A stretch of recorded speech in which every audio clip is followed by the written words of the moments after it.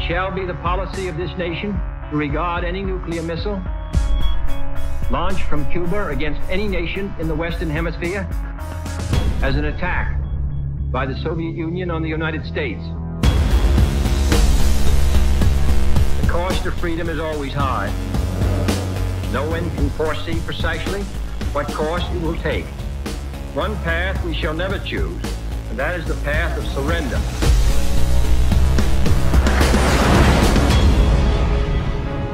You ready for this? Let's find out.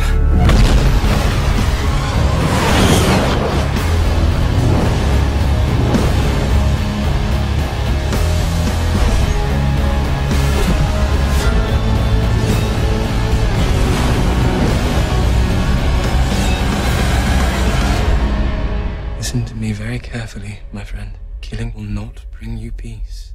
Peace was never an option.